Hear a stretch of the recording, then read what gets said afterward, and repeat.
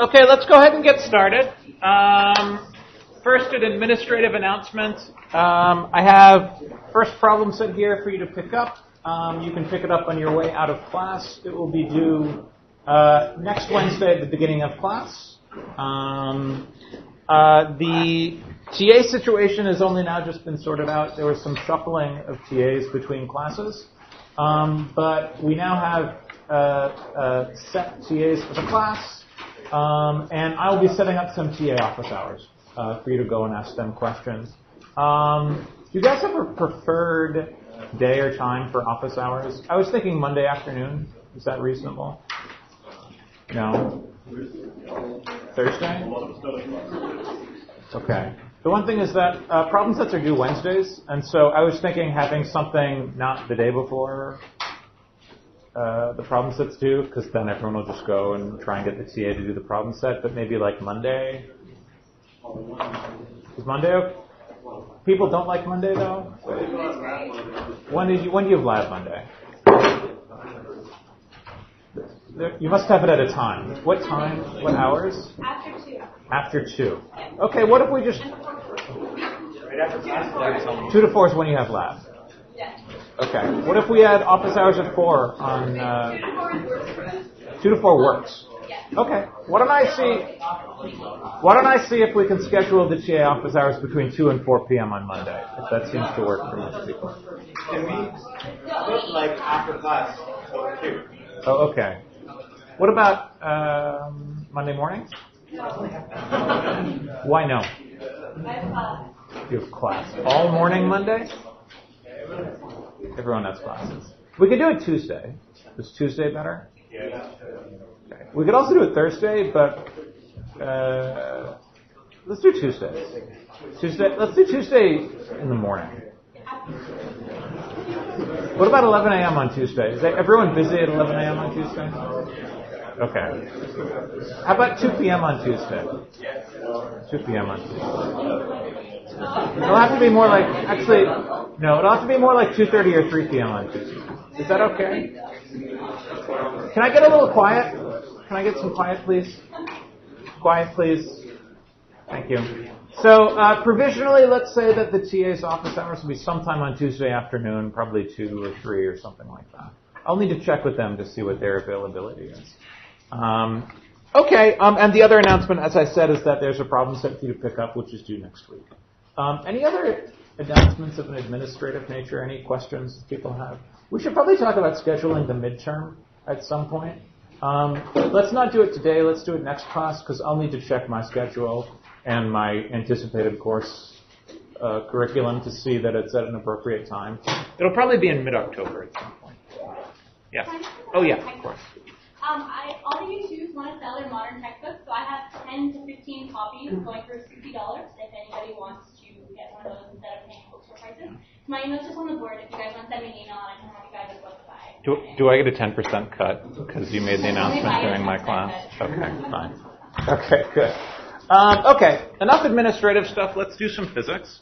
So we spent the last week or so uh, understanding uh, various uh, very general uh, features of the quantum and relativistic corrections to classical physics. We learned how to estimate the sizes of these effects uh, in various sorts of circumstances. But now it's time to uh, roll up our sleeves and start learning uh, some of the details of these theories. And the theory which is going to occupy our time for the next three to four weeks or so is going to be the theory of special relativity.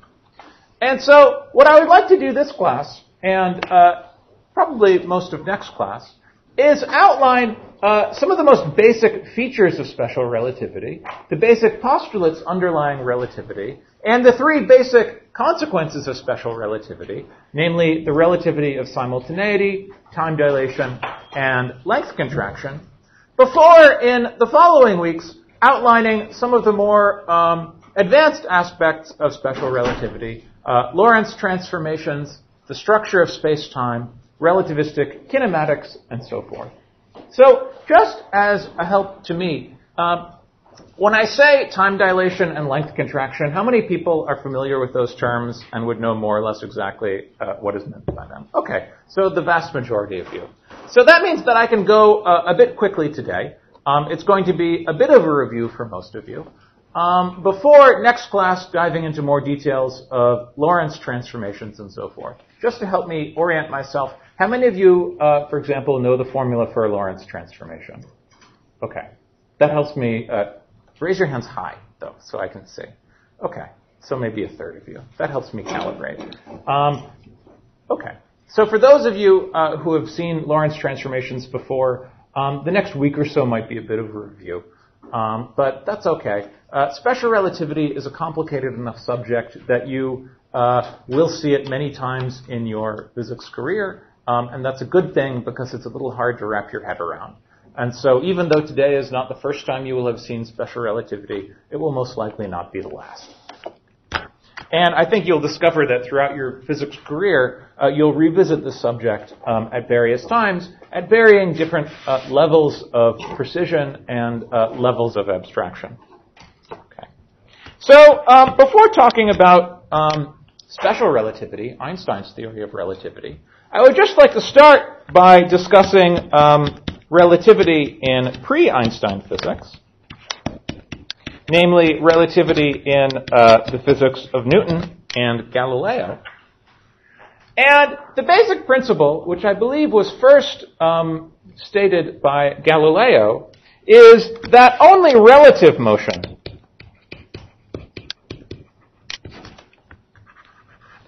of objects is measurable. Or, to state that a bit more precisely, if we imagine that we have some sort of physics experiment, so a physics experiment which is carried out in a laboratory at rest will give the same result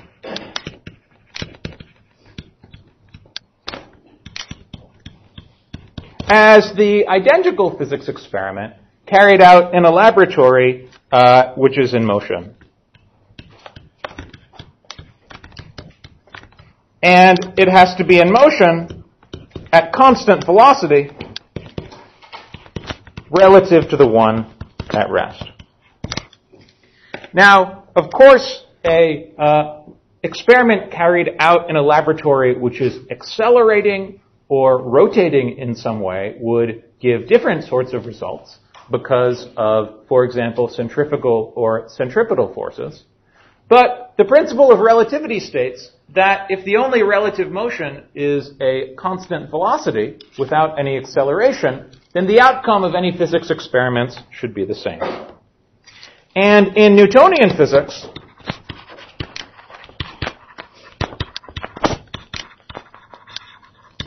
this is a true statement and it is known as uh, Galilean relativity.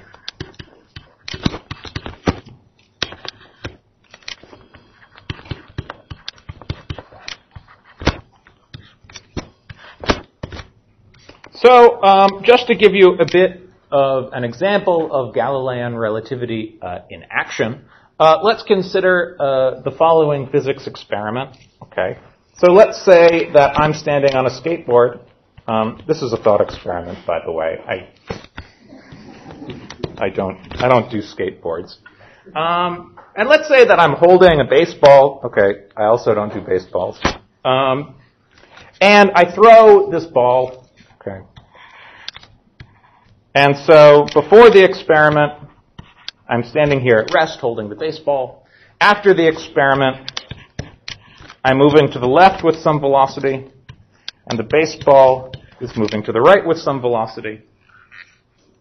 And I could try, let's try and describe this uh, experiment in a bit more detail. So let's say that um, my initial velocity before the experiment would be zero, and that my final velocity after the experiment would be, let's say, so that of course will depend on uh, how quickly, uh, how hard I throw the baseball. So let's say I'm moving at half a meter per second, just to have a number to throw around. Um, and so if I have a weight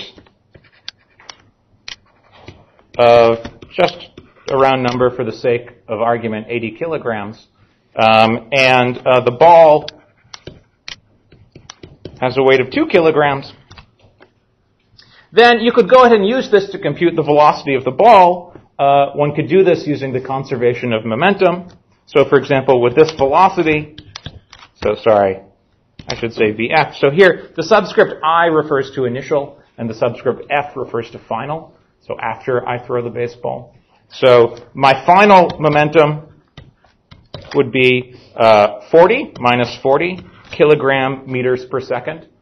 And using the conservation of momentum, I could then derive the final velocity of the ball, which would be 20 meters per second. Okay. And you can check that 20 meters per second times the mass of the baseball, 2 kilograms, that's actually a pretty heavy baseball, now that I think about it. Uh, indeed, does give you 40 kilogram meters per second squared. Okay, it's a medicine ball or, or a yoga ball or something like that. One of those big Pilates balls. Okay. Um, okay, and so then I could, for example, um, compute the relative velocity after uh, the I throw the ball, which of course would be 20.5 meters per second. And I could compute the amount of work that is done by me as I throw the ball. And that would be computed by comparing, for example, the initial energy, which is zero because everything is at rest, to the final energy. The final energy is, of course, my kinetic energy, which is one half my mass times my velocity squared, plus that of the Pilates ball, which is uh, the ma- one half its mass times its velocity squared, giving me a total of uh, 410 joules of work. Okay.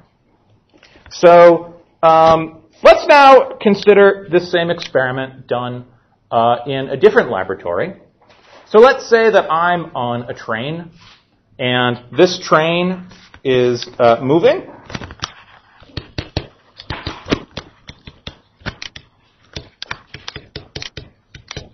And just for the sake of argument, let's say that this train is moving with a constant velocity of 20 meters per second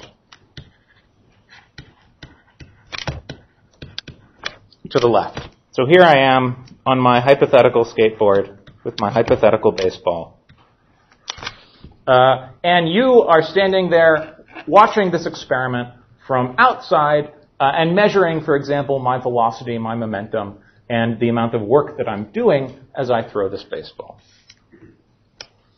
So again, now I can look at my initial velocity. So the initial velocity of both me and the baseball, from your point of view, watching me on this train, is going to be minus 20 meters per second. My final velocity is going to be minus 20.5 meters per second. And the final velocity of the ball is going to be zero, right? Because I've thrown it 20 meters per second with a velocity of 20 meters per second to the right. And so it exactly cancels the 20 meters per second of the train. So from your point of view, my velocity and the velocity of the ball uh, is quite different from that, from the velocities that I will see uh, from the point of view of my of the of, uh, well, from the point of view of the train. Um, so, for example, from my point of view, standing on the train, um, I will be at rest, and the ball will be moving with a velocity of 20 meters per second to the right. But from your point of view, where you see that I'm actually in a train that's moving, the ball will be at rest. But nevertheless, any, uh, all of the relative velocities and any physical quantities will be independent of which frame you use to do the calculation. So for example, I, just above, calculated the relative velocity and the amount of work done during this experiment. And you, likewise, could compute the uh, relative velocity of me and the ball, which again you would see is 20.5 meters per second, and you would get the same answer as I would. And likewise, for example, you could compute the amount of energy or the amount of work which is expended uh, during uh, this process. So how would you do that? Well, the initial energy is 1 half mv squared, so it would be 1 half times the total mass of me plus the ball, so that would be 82 kilograms, times 20 squared, whereas E final would be 1 half my mass, which is 80, times my velocity, which would be 20.5 squared, uh, plus zero for the energy of the baseball, because from your point of view, the baseball is at rest. And so this initial energy now, if I did the calculation correctly, is 16,400 joules, whereas this is 16,810 joules. And so, although from your point of view, my initial energy and my final energy are quite different from how they are from my point of view, the actual amount of work done, which is to say the difference in energies, between uh, before and after this event is the same.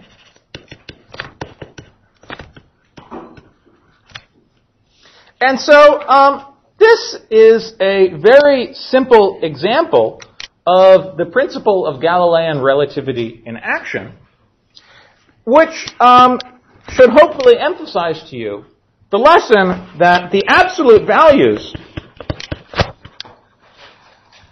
of, for example, velocity, energy, position, and so forth will differ between frames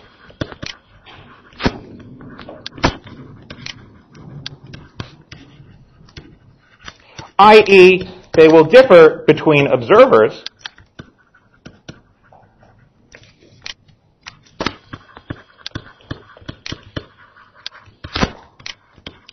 But the outcome of experiments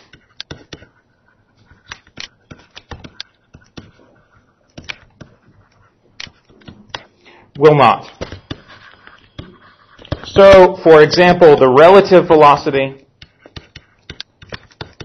the, work, the amount of work done during this experiment, or indeed any absolute facts about this experiment, such as the um, you know, uh, whether or not I throw the ball hard enough to hit the other side of the train or not. That's some fact. And that should be independent of whichever observer is describing this motion. I should make one comment here, which is that I have used the word reference frame here to describe the uh, measurements as uh, made by a given observer.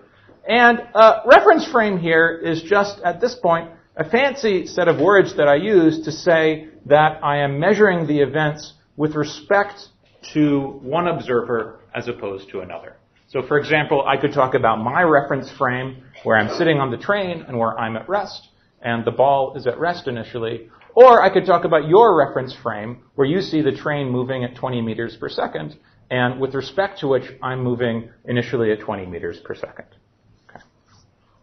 And uh, so this was a, a, a, very simple example, but um, I think it's an extremely important one to think about because uh, it really emphasizes the fact that we need Galilean relativity.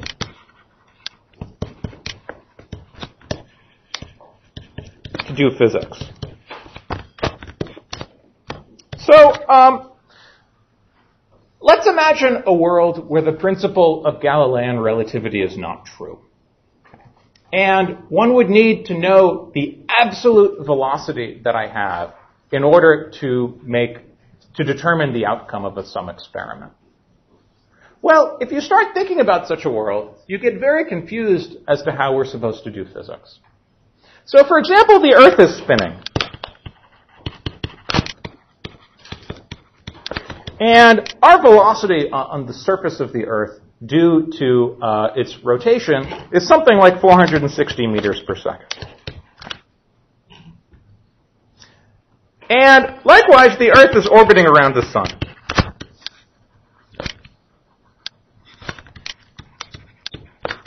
And its velocity due to its motion around the sun is something like 30 kilometers per second.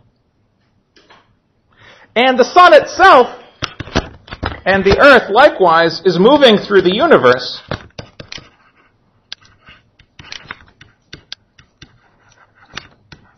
at a velocity which is a little harder uh, to pin down absolutely because it's a difficult measurement, but it's something of an order of magnitude larger than that, something like 200 kilometers per second. So, if you needed to know my absolute velocity rather than just my relative velocity in order to determine what happened when I throw a ball if I'm standing on a skateboard, then you would be in a lot of trouble. Because you would need to first understand the rotation of the Earth, and then understand how the Earth goes around the Sun, and then understand how our solar system is moving through the universe, all in order to figure out how much work is done when I throw a tennis ball when I'm standing on a skateboard. And so, without Galilean relativity,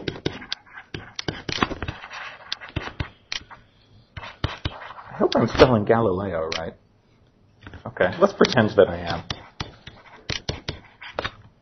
We would need to account to all, we would need to account for all of this to do basic physics.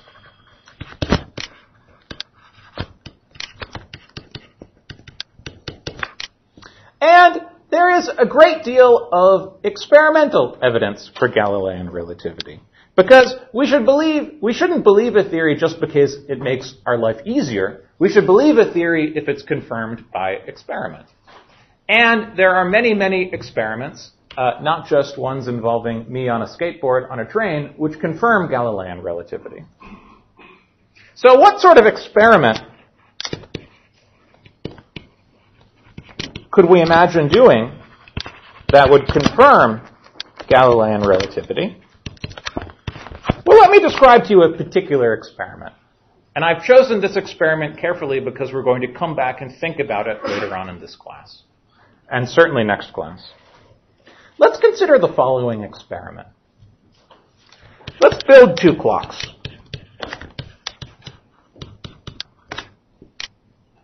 And let's say, for example, that these clocks work differently. Say one of them is a pendulum and the other is based on, is a water clock, where one tick come, where one of the clock ticks each time uh, a pendulum swings across the vertical, and the other clock ticks each time a drop of water uh, falls through uh, the pen, falls through the clock. And let's synchronize them.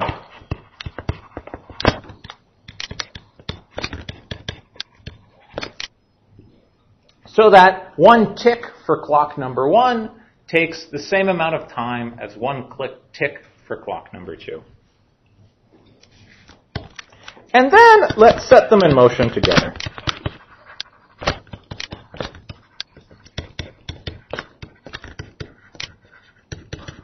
For example, by putting them on a train or a rocket ship. Or if you're lazy and you don't want to put them on a rocket ship, let's just wait 12 hours. Because the Earth is rotating, and so if at one time they're going 460 meters per second to the left, 12 hours later they're going to be going 460 meters per second to the right. Or you could wait six months if you're very patient. And then they'll, be moving at a relative velocity of 60 kilometers per second relative to how they were. And then we can ask whether they remain synchronized. And the answer, uh, thankfully, is yes. They remain synchronized.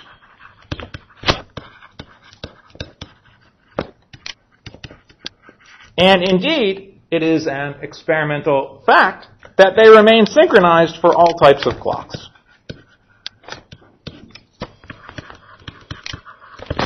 And when we come back to consider the consequences of special relativity, we will use this principle of relativity about the synchronization of clocks to draw uh, some rather uh, interesting conclusions.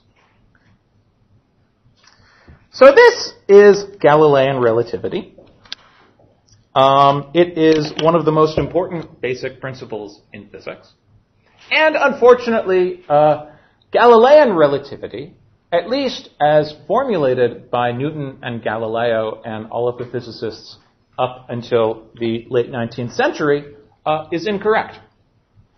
And in fact, there is also evidence against Galilean relativity. I'll put against in quotes. So it's really against Galilean relativity, but as Einstein discovered, there is a version of relativity which is consistent with this new observation. And the primary evidence against Galilean relativity comes from Maxwell's equation.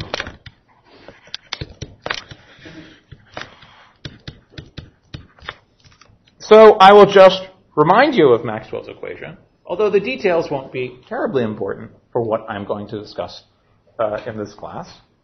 So Maxwell's equation is a set of equations that tell us how electric and magnetic fields evolve in time. So uh, I'm just going to write down two of Maxwell's equations, although of course there are four Maxwell equations. So here E and B are the vectors that denote the electric and magnetic field. And I've written down the two Maxwell equations that tell us how these fields vary in time. So their time derivatives on the left-hand side are determined in terms of the spatial derivatives of the electric and magnetic fields on the right-hand side of these equations. And I've written down a particularly simple version of the Maxwell equations where the charge density and the current are zero. And as you may or may not remember from your freshman physics classes, there are some more complicated equations that would take into account the presence of electric charge and current. Uh, is this terrifying to you when I write down Maxwell equations like this? Is this reasonably familiar to you? I'm not going to dwell, this is not a class on the pro- detailed properties of Maxwell's equations, although that's a lot of fun. I just want to appeal to some basic facts here. I mean, I'm assuming here that everyone has seen Maxwell's equations in this form. You may have seen them in an integral form rather than a dif- differential form. How many people have not seen them in this particular form? Okay. Okay. Um, if you haven't seen them in this particular form, don't worry, you will soon in one of your other classes. Um, this is not a class on electromagnetism. Um, although I think I would encourage you, for example, to take a look at the first chapter of our textbook, Bernstein, which has a review of uh, a few features of this, just so that we're all on the same footing. Uh, but the basic uh, observation that I would like to make about Maxwell's equation is that you can take the time derivative of the first equation and plug it into the second equation to obtain an equation just for the electric field.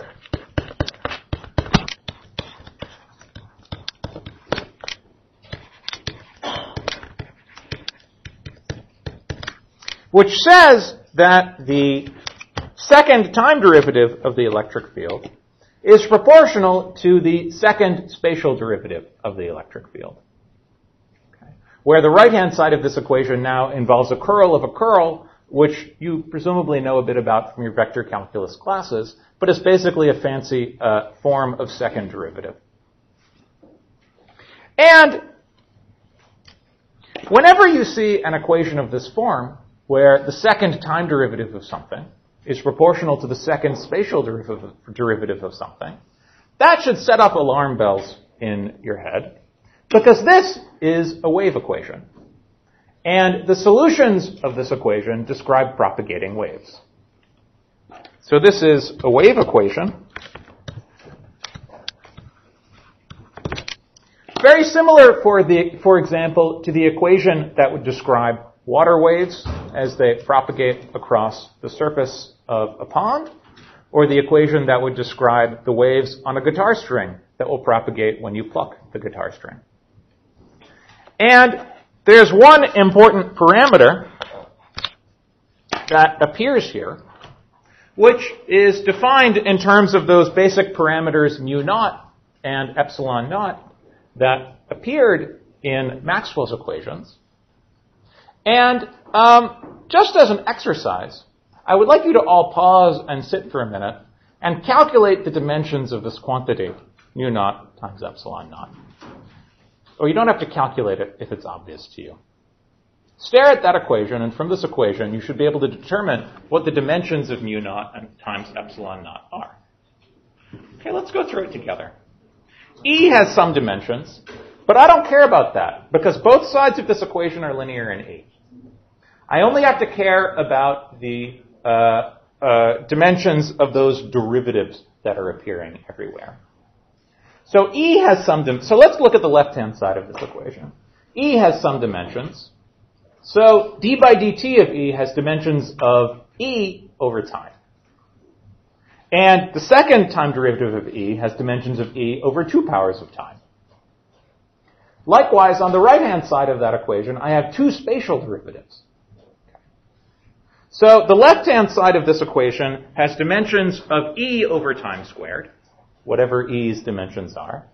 And the right-hand side of this equation has dimensions of E over length squared, because I have two spatial derivatives, times whatever the dimensions of uh, 1 over mu naught epsilon naught are. That tells you that mu naught times epsilon naught has dimensions that are determined in terms of length and time. And in fact, if you think about it, they have dimensions of 1 over velocity squared. So that means that the waves, which are solutions of this equation,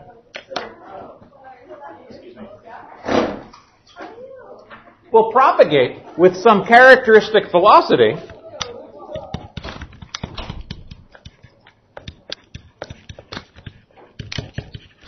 which is determined by that dimensionful parameter mu naught times epsilon naught. And in particular, uh, you can check mu naught times epsilon naught has has units of 1 over velocity squared. So the speed at which these waves will propagate is uh, 1 over the square root of mu naught times epsilon naught. Now, by dimensional analysis, one could only compute that would be something order 1 times that. But in fact, if you go through and look at the wave solutions to Maxwell's equation, you'll find that they propagate at exactly the speed 1 over mu naught times epsilon naught. And one of the most remarkable consequences of Maxwell's equation, one of the most remarkable discoveries of 19th century physics, was that if you look at Maxwell's equations and you calculate the values of epsilon naught and mu naught by studying uh, magnetic fields and electric fields and how they respond to one another, then the speed that comes out from this wave equation is precisely the speed of light. 3 times 10 to the 8 meters per second.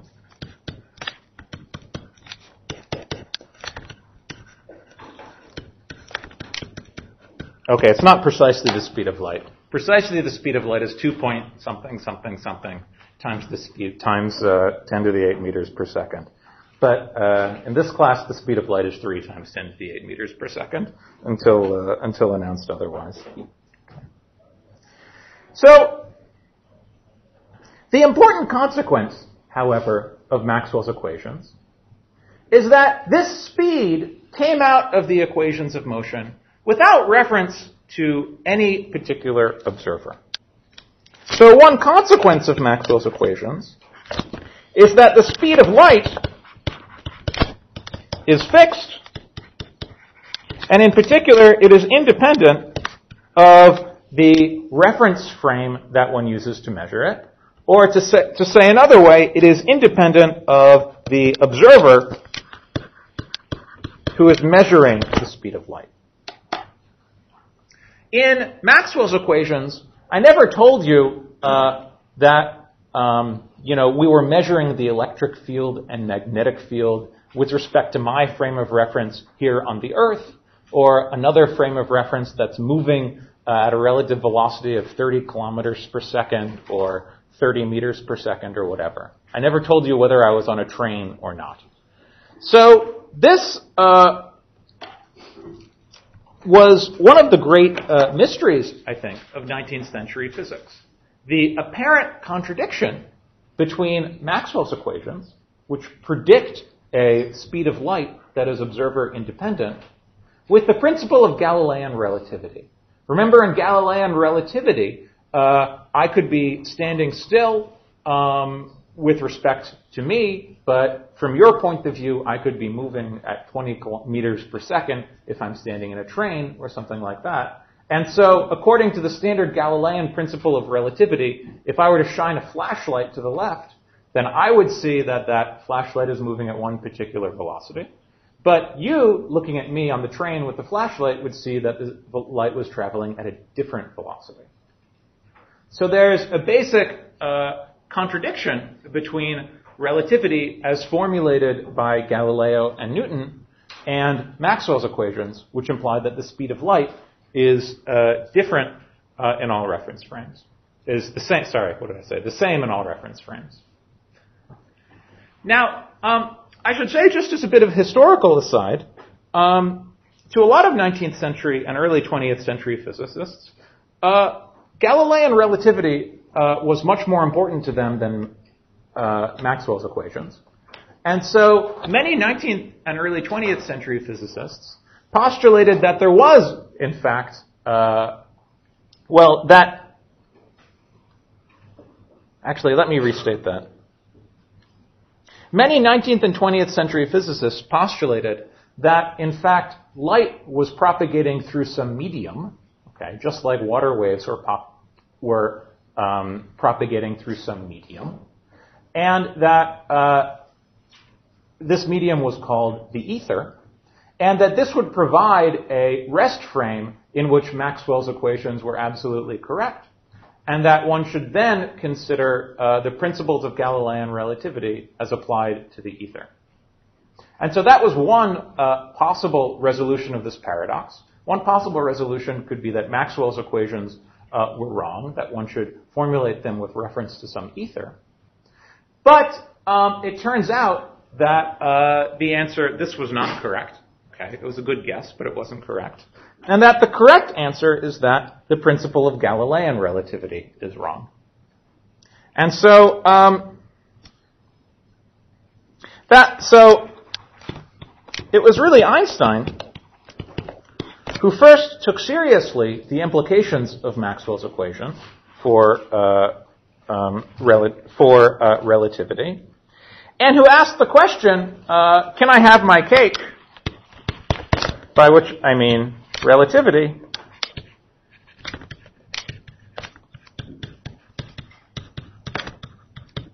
And eat it too.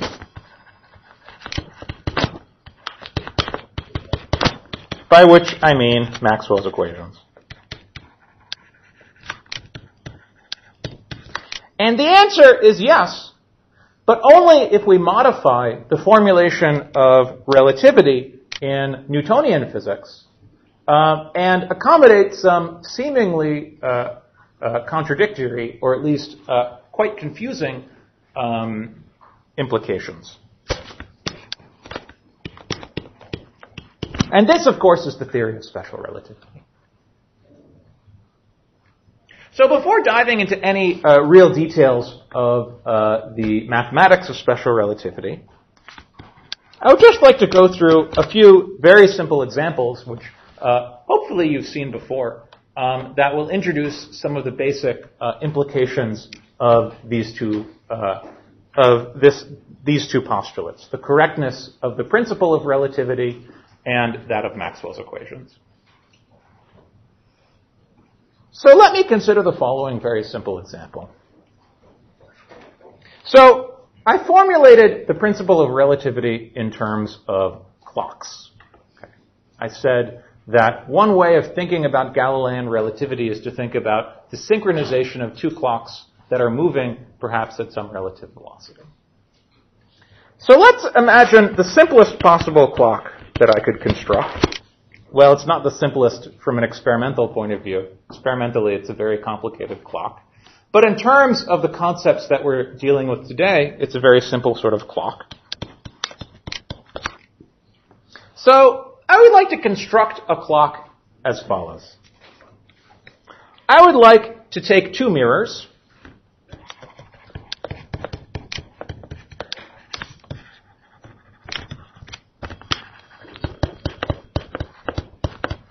and I would like to measure time intervals by looking at how many times light bounces between these two mirrors. So, for example, I could define one tick of the clock to be the amount of time it takes light to go from one mirror to the other and then bounce back. Okay. So this is uh, light bouncing between two mirrors.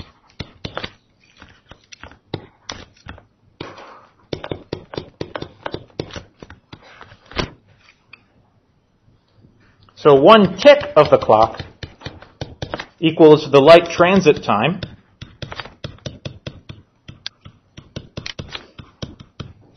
Or I guess I should really say twice the light transit time if I want to measure a tick of the clock by how long it takes the light to get from one mirror to the other, bounce back to get to the first again. And so, if I denote by L the distance between the two. So let me say that. So if L is the distance between the two mirrors,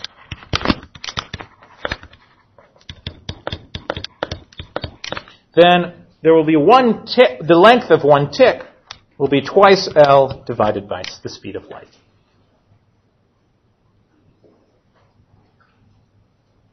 So this is all well and good. So let me build not just one of these clocks, but let's build two.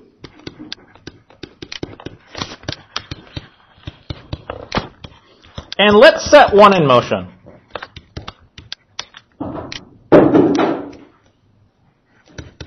With respect to the other.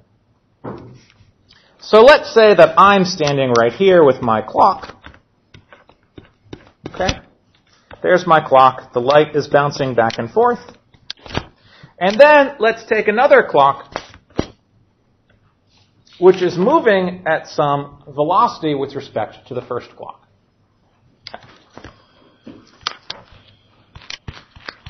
So I would now like to ask how long it takes this clock to tick, as measured by an observer for whom the first clock is at rest. So let's try and analyze this in uh, a bit more detail. So let's say that the first mirror emits a, these two clocks are synchronized, and so uh, the lower mirror will emit a beam of light at some time t1, but then the second clock is moving with some velocity v, and so it will hit the second mirror at some later time t2, at which point the mirror has moved some distance to the right, and then it will bounce back and hit the lower mirror at some later time t3. And I'd like to calculate how long it takes that process to happen. Is the setup clear to everyone? Any questions? So here v is the relative velocity of the two clocks. Okay. Given the fact that the speed of light is always constant, this is now easy to do. So um, let's first uh, compute the difference between T1 and T2. So T1, here, let me give myself a little more room. So T1, the difference between T1 and T2, well, so let's denote by L here, again, the distance between the two mirrors. And let's denote by D the distance that the uh, clock will travel between the time the light is emitted from one mirror and is received at the other mirror, then T1 minus T2 is equal to the distance the light travels, which is L squared, the square root of L squared plus D squared by the Pythagorean theorem, divided by the speed of light.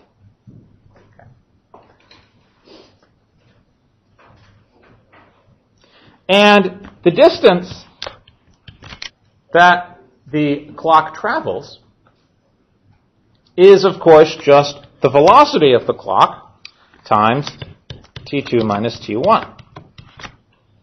So these two equations say, first, that the uh, light, light is traveling at the speed of light, c.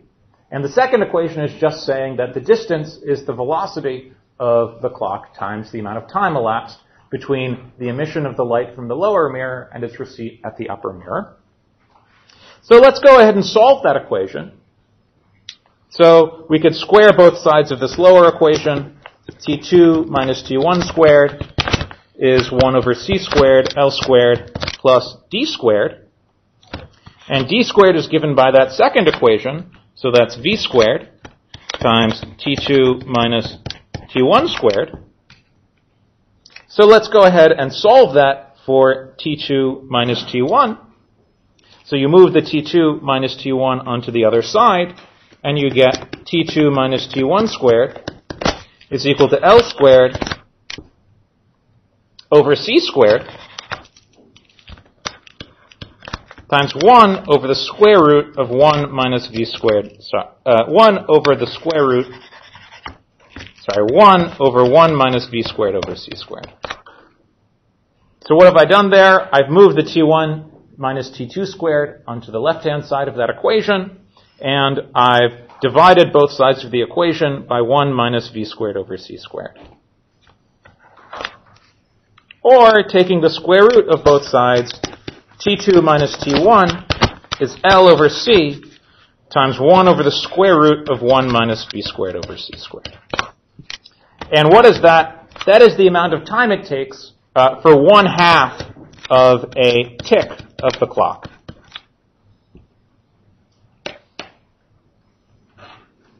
And let's compare that. So this is a tick of the moving clock.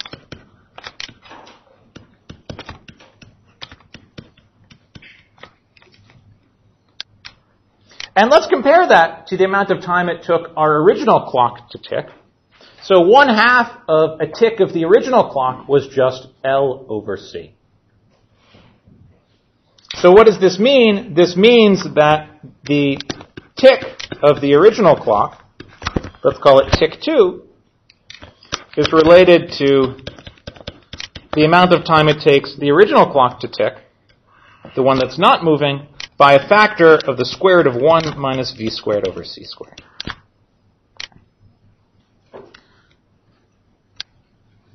And this is time dilation.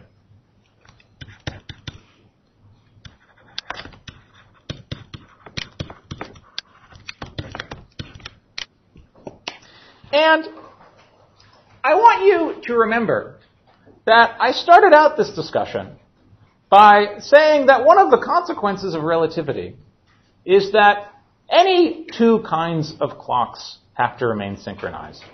So I could build one clock out of mirrors and light rays, and I could build another clock uh, out of uh, a, a, piece of quartz that I use in my pocket watch, or I could u- build a clock out of uh, uh, water that's dripping through an hourglass, or I could build a clock out of uh, a pendulum which is swinging in a grandfather clock, or I could build a clock out of someone's heart who is, which is beating at some very uh, constant uh, rate, like maybe Lance Armstrong. Um, um, and all of those clocks should remain synchronized. And this is the basic principle of time dilation. So let me just state it again.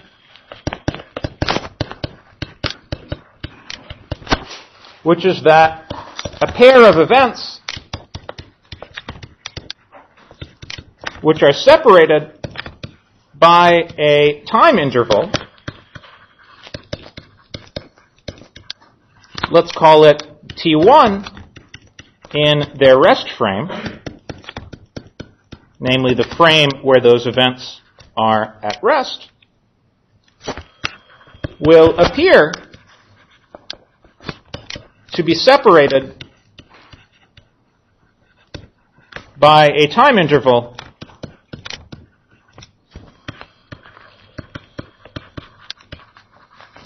uh, T2, which is greater than T1, and so I'll call that time T2 gamma times T1, which is greater than T1. in a frame, uh, or let's say to an observer, or in a frame which is moving,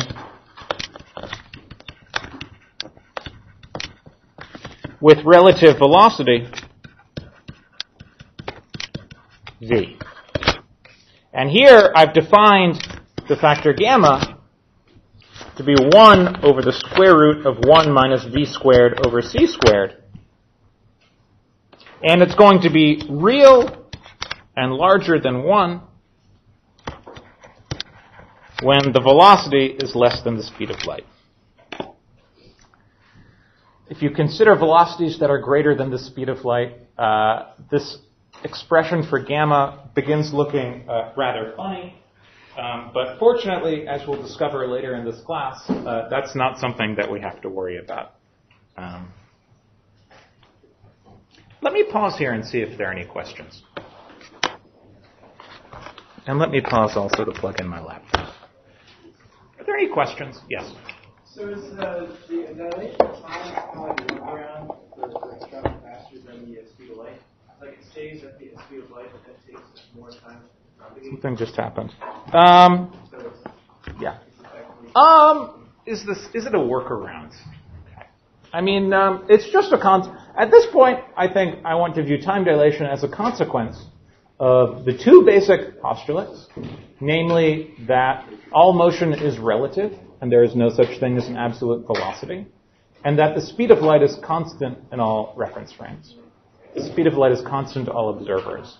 So I would say that the fact that nothing can travel faster than the speed of light is a consequence of those two um, facts. Um, and wh- whether, and of course, time dilation is related to this effect, um, but I wouldn't say that it's a consequence of that. Because in, in like a Newtonian system, like which was the same setup without light, then like adding like a, a translational velocity would increase Absolutely, yes. So, for example, the way that this would work in Newtonian in Newtonian physics, of course, the t- clocks would tick at the same rate. And why would they tick at the same rate? Well, it's because the velocity of the light, or whatever it is you're using to define the clock, would change depending on whatever reference frame you're in. And so uh, it's really, I mean, Einstein uh, is a brilliant guy because he really took absolutely seriously Maxwell's equation and their statement that the speed of light is a universal constant, independent of the choice of frame that one uses to measure it. So uh, we're out of time, unfortunately. Uh, we'll have a lot more time for questions uh, and even some answers uh, next class.